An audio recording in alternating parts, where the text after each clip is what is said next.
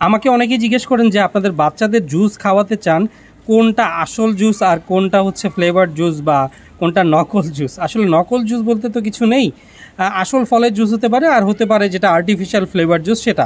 আমার হাতে দুটো জুস আছে, একটা হচ্ছে ডেলস ম্যাঙ্গো জুস আর একটা হচ্ছে Starship mango juice Starship mango জুসের দাম বিশ টাকা আর এটার দাম একশো ষাট টাকা। তো এটা হচ্ছে ইম্পোর্টেড বা দেশের বাইরে থেকে আসে। এনিওয়েজ আমরা দুটো জুস আগে ঢেলে দেখি, যে দেখতে কেমন। তো এটা আমি আগে ঢালবো ড্যালস জুস এটা হচ্ছে ক্যানের জুস তো ক্যানের জিনিসগুলোর দাম এমনিতে একটু বেশি হয়ে থাকে, সেটা যেমনই হোক। তো আমরা কিন্তু সবসময় ভাবি যে যেটা- যেটার দাম বেশি বা যেটা দেশের বাইরে থেকে আসে সেটাই আসল জুস বিষয়টা কিন্তু একদমই ভুল।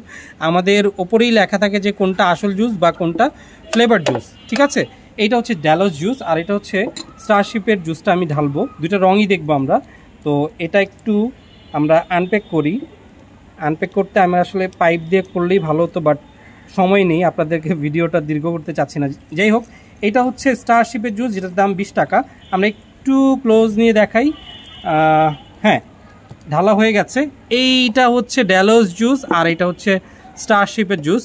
তো এই দুটো জুসের মধ্যে কোনটা আসল জুস হবে আমি একটু বলি। এখানে লেখা আছে ড্যালোস ম্যাঙ্গো জুস উইথ পাল্প আর এখানে কিন্তু লেখা আছে স্টারশিপ ফ্রুট ড্রিঙ্ক এখানে কিন্তু ম্যাঙ্গো জুস লেখা নেই। আমরা কিন্তু সবাই এটাকে ম্যাঙ্গো জুস বললেও এটা কিন্তু ফ্লেভার্ড জুস বা ফ্রুট ড্রিঙ্ক যেগুলো হচ্ছে আসল জুস হবে, সেখানে অবশ্যই লেখা থাকবে ম্যাঙ্গো জুস গ্র্যাপস জুস বা যেই জুসই হোক, এখানে জুসটা উল্লেখ থাকবে।